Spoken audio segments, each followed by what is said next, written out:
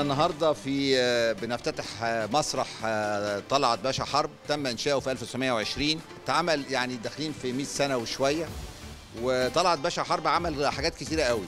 هذا الرجل العظيم يستحق كل التكريم اسمه وعائلته لازم اللي إحنا نحافظ على كل حاجة سابها.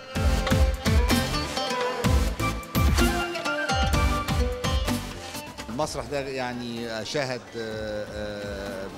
أحداث كتيرة قوي وكان من ضمنها في الأربعينات غناء السيدة أم كلثوم عليها وأحداث أخرى كثيرة. ولكن في 2010 للأسف حصل حريق فيه ومنذ هذا التاريخ توقف العمل فيه. وطبعا إحنا في كلية تربيه نوعيه اللي هي نشاطاتها موسيقى ومسرح وكلها نشاط فنية.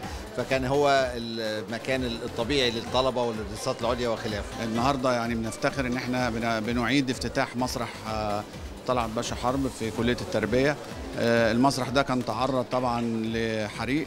والنهاردة إحنا بنفتخر إن إحنا بنعيد افتتاح هذا المسرح اللي شهد أم كلثوم كان بتغني فيه.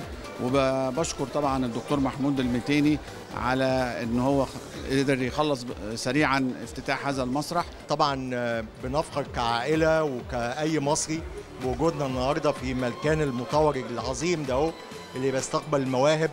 وبيقدم النهارده كل الفنون وكل ال ال ال التطور اللي موجود في الدولة النهارده الحديثه من خلال الكليه وجامعه عين شمس وكل من ساهم في هذا التنميه. مبسوطة جدا طبعا الكلية اتطورت بالشكل ده، إحنا كقسم إعلام عندنا مسرح فالمسرح مهم بالنسبة لنا إن هم يأدوا عليه العروض بتاعتهم و ومبسوطة طبعا بالكلية وهي بتتقدم كده والتطورات الكتير اللي حصلت فيها شكلا بقى بقت كويسة يعني.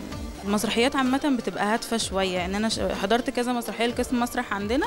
المسارح بتبقى هادفة بيقدموا محتوى كويس. كان في مسرحية للأطفال كانوا بيتكلموا عن التنمر وكده. فأنا شايفة إن هي حاجة كويسة يعني بس اللي يشتغل بقى عليها.